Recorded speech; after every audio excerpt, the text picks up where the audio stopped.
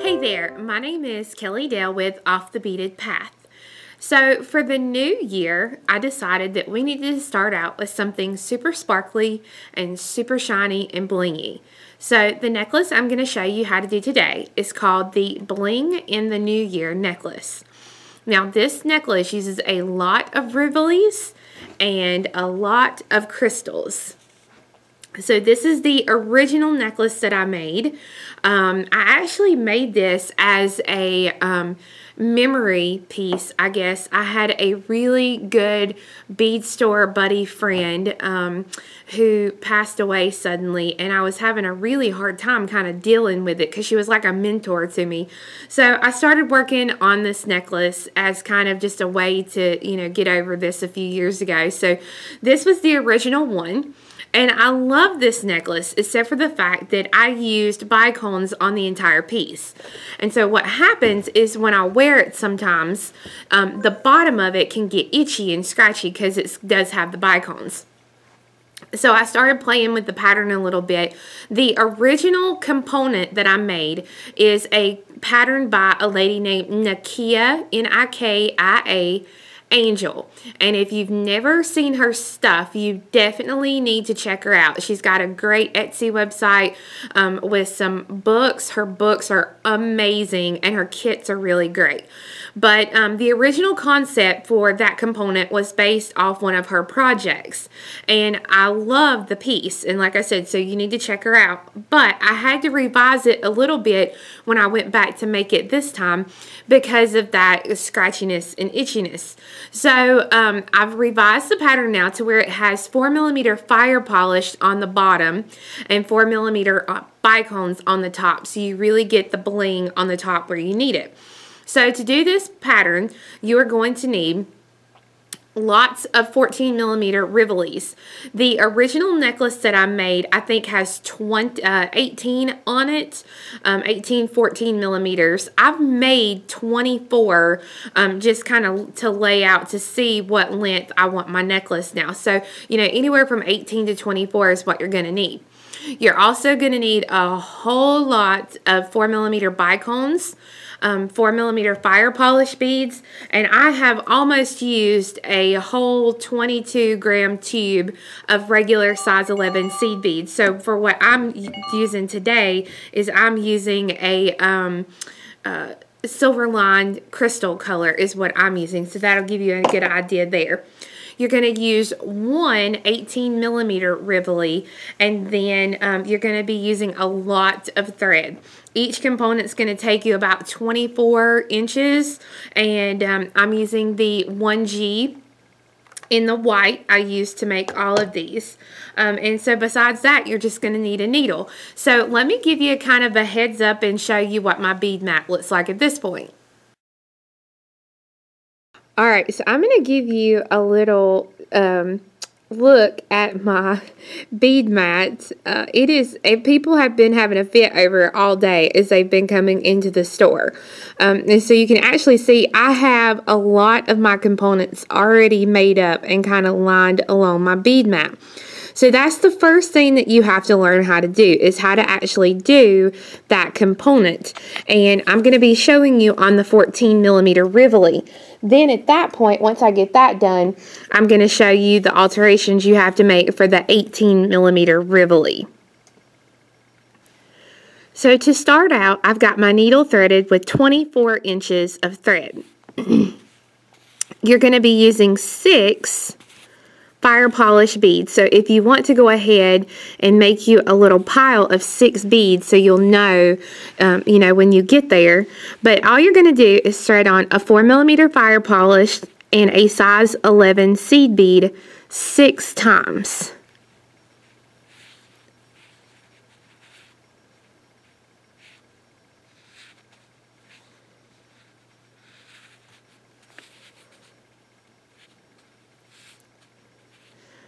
So once you get all of those threaded on, this is what it's going to look like. So you drop it down and tie it into a circle. We're not going to be using the tail thread for anything, so you can drop it down as low as you feel comfortable with. Now, the one thing you have to be careful is when you tie it into the circle, don't get the seed bead caught up in the knot. You have to be very careful about that. But I'm going to put about, about three knots in it. And I like to do my double knots here. And then I'll go through the size 11 seed bead right next to the knot. Thread on five 11s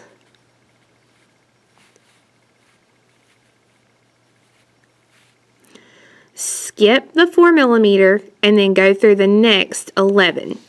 So what that's going to do is that's going to put those seed beads around the outside. So you want to do this around the whole piece, picking up 5, skipping the 4 millimeter, and going through the next 11. So you'll keep doing that until you get back so once you go all the way around, this is what your piece will look like. You're ready to step up to start the next round. So to step up, you go through the first three 11s that you added in a set of five. So right after I've gone through the last one, I'm going to go through three more. Pick up five 11s. And you're going to go through the middle 11 of the next set of five. So that's the third bead.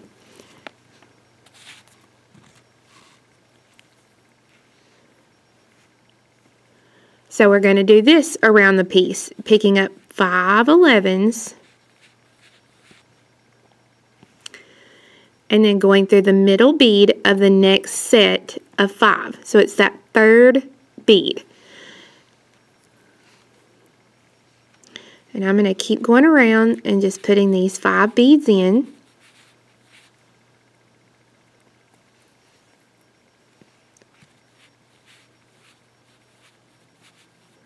So that I can show you as you work, what's going to happen is this piece is going to start to cup up a little bit. And that's exactly what you want it to do.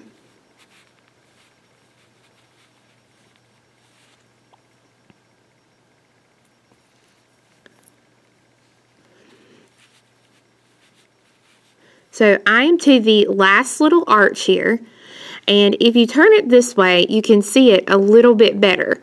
I have my little set of five in the original row, and this was the first bead that I started with. So I have to go through that bead right there. A lot of people get messed up and they go through this first bead here that's right after it because if you're looking at it this way, it can get a little confusing as to which one you go through. So I'm going to go through this lower bead here because that's the middle bead that I started with. And then to step up, I'm going to go through the first three beads that I added in this set of five. So I'm actually going through four beads.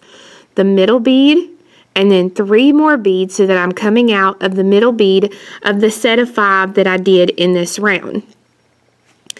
So now I'm going to set the Rivoli in and I'm going to set it face up. And I'm going to turn it to the side just like this because you'll be able to see it a little bit better. From where you're coming out, you're going to pick up a 4 millimeter bicone. So I'm coming out of the middle bead of this set of five. So I'm going to come to my next set of five beads that I added in the previous round and I'm going to count over three and I'm going to go through that middle bead here of that set of five.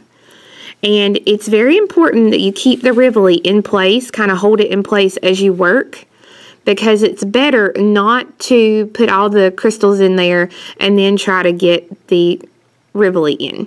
So I've got a bicone. I go through the middle bead of the next set of five there. And I'm just going to go around picking up the bicone, going to the next set of five, and then going through the middle bead. And as I work, I can pull it tight and the crystal will kind of cup to the inside of it. And that's what you want, or the, um, the Rivoli, sorry. So go to the next set of five, and you can kind of stick your needle in that little hole there, and you'll be able to see your sets of five. But you're going to have, we started out with six fire polish on the bottom. So just an FYI, you're going to have six bicones on the top. So the same amount as you had on the bottom that you started out that first row with, you're going to have on the top. So I've got two, four, five, so I need one more for six. So I come to that next set of five, and it just so happens that that set of five is where I started. So I'm going to go through that middle bead, which is going to be that one right there. So when I pull it, when you first pull it tight, you kind of have to make sure you've got it centered and that that point is kind of centered on that circle here on the back. Now what you have to do at this point is go through the bicones and the 11s here in the center of the piece and you want to pull those threads tight. I try to go through these beads at least twice pulling the thread tight. Um, this helps to keep the Rivoli in place um, but also, it helps to pull up any extra room that you've got so there's not a lot of extra room in the piece as you're working. Because you pretty much want these little, what I call connection beads, where the sets of five little diamonds meet. You want those pretty much to be right on the edge of your Rivoli as you're doing this. And that's how you can kind of tell whether you're keeping it centered or not. So go through these a couple of times and then as you've gone all the way around, then I'm going to exit out of a crystal right in between my bicones and I'm going to continue on through three beads. So it's two beads and then my little connection bead. And again, the connection bead is just that one bead there that connects those diamonds. So I'm coming out of that bead. I'm going to pick up an 11 a 4 millimeter bicone, and an 11. And I'm going to go straight through the next connection bead so that that is going to cover up the hole that we have there. So it's an 11, a 4 millimeter, and an 11. Go through, whoop, there we go. Go through the next connection bead. And I'm going to go all the way around adding those um, 11s, 4 millimeters and 11s. And so when you get all the way around, this is what your piece will look like. And I go through the outer beads one more time just to reinforce.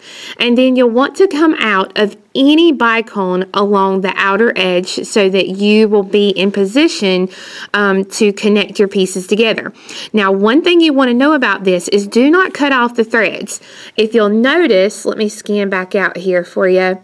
If you'll notice, all of my pieces still have their threads on them. And that's exactly what you want because if not, you're going to have to add thread to all of these and that can get very um, uh, tiresome. So just keep your threads on there and go ahead and make however many of those components you want in the uh, 14 millimeter. Then we're going to do the 18 millimeter for the center and I'll be right back to show so you how to do that. There's only one big difference that you have to do for the 18 millimeter Rivoli and that is we're going to start out with a different amount of our 4 millimeter fire polish.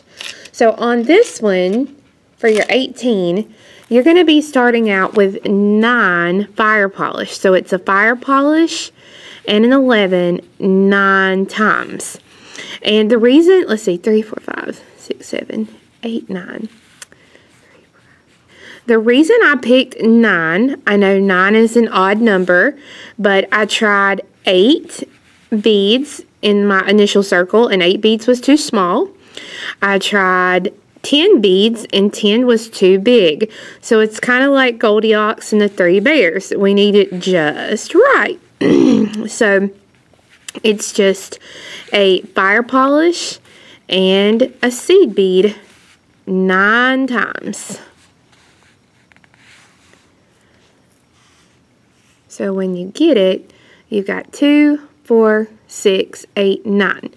And then from that point, you tie it into a circle and you do everything else exactly like we did with the 14 millimeter so Rivoli. once you have your 18 millimeter Rivoli complete and all your other ones, you'll want to lay it out the way that you want it to look on your finished piece.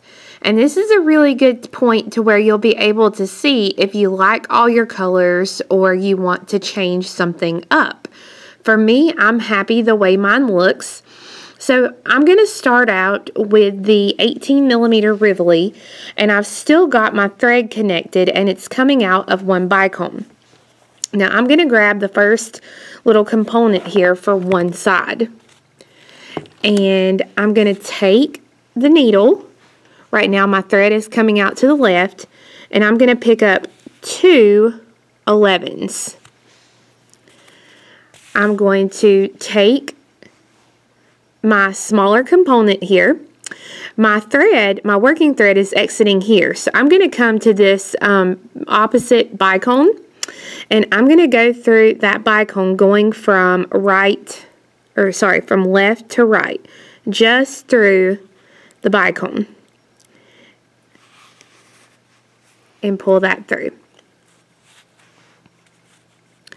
Then I'm going to pick up two more 11s and I'm going to go through the bicone that I was coming out of on the 18 millimeter Rivoli. I'm going to go ahead and go through that bead so that it will connect just like this with the two 11s on each side. And I will reinforce this several times and then um, I'm going to leave, I'm actually going to leave this thread because on the next, when I get ready to do the next side, I'll be able to stitch to where I want it to add the uh, components to this side. But so now I'm going to take the needle, I'm going to put it onto this tail thread, and then I'm going to connect the next Once components. I got this connection reinforced several times, I used the center thread here and stitched over two bicones from where I was at. So that way, this thread will be here when I get ready to connect the second side. Now, one thing that you can do if you wanted to, you're more than welcome to go ahead and attach the components to each side as you work. It's completely up to you and what you want to do. Me personally, I like to just connect them on one side and then go back to the next side but it's however. So I've threaded the needle onto this smaller component and you want to make sure it's directly opposite from where you did the first component. So again, I'm going to look at my new component. I'm going to lay it down so that the thread, that my leftover thread is opposite, so it's already in place. And we lay those two pieces down. Go ahead and put on two 11s and then take the needle and go through the 4 millimeter here on the new component. Because my thread on the old component was exiting on the left so I'm going from left to right. And then I'm going to pick up two more 11s and I'm going to go through this component or this um, 4 millimeter bicone going from right to left so that it gives me two size 11 seed beads on each sides of those 4 millimeters. And I'm going to reinforce this, tie this thread off, and continue going until I have the desired amount of components on one so side I've of the necklace. So I've taken all of my components for one side and I've connected them together. This one side has 11 components to it. Now you can mix and match your colors however you want them, but this is just how I've got mine. And I've got my needle threaded onto the last component for this side side. And I'm ready to put the actual um, clasp, the first part of it. So I'm going to be coming out of the bicone opposite where I connected my beads. You're going to pick up seven 11s. And I'm going to let those beads drop down. I'm going to pick up the first part of my clasp and then I'm going to pick up three more 11s. I'm going to count from my original seven, I'm going to count four. One, two, three, four. And I'm going to go just through that fourth 110 seed bead from the crystal. And I'm going to hold this and pull the thread. And when I pull it down, I'm going to pull it nice and smooth and tight here so that the clasp is moving and it's not pulled to where there's thread right there at it. And then I'm going to pick up three more 11s if I can get a hold of my needle. And I'm going to go back through the 4 millimeter I started with and I'm going to go in the other direction so that when I pull that, the clasp is uh, directly above where that 4 millimeter bicone is. Now, if you don't like this connection process, you can do it any way you want to, but I'm going to go through and I'm going to reinforce this connection several times and tie this Now that I have the clasp attached on this side, I am going to come back to the center and thread my needle onto this um, second bicone from where my I added the first component. Now I've already gone ahead and I went ahead and attached my second side components together. Once I knew exactly how many beads I needed, I went ahead and attached all these together so that now it's going to be just very easy uh, because all I have to do is attach this uh, you know, the small component strip to the big component and then put the clasp on and you'll have the piece finished. So I hope you enjoyed learning how to make the bling in the New Year's necklace. We do have kits available on our website at offthebeadedpathbeadstore.com as well as their written pattern. Now, I'll be honest with you, this is one of the most expensive kits I've ever offered, but I tried to keep the price as low as I could considering that it used 315 bicone crystals. You know, I think you get 20 24 14 millimeter Rivolis in the kit. So there's a lot of crystals in this kit. The cool thing that I really, really like about this piece is that it's versatile because you can really dress it up or if you're like me, you'll just wear it with a white v-neck t-shirt and a pair of jeans. So again, it's as versatile as you want to make it. And with those fire polish beads on the bottom, it's very, very comfortable to wear and I promise you, you will get lots of wonderful um, comments about this piece. So again, I hope you guys enjoyed this first video for 2017. Be sure and come back next week when we're going to work a little bit more um, off of this brace or uh, this necklace that we just completed. So I hope you guys have a great week. If you get a chance and you want to do some of these and you come up with something with this necklace, be sure and post it on our private Facebook page so everybody can see what you're doing. Thanks again. Hope you guys have a great week. Bye-bye.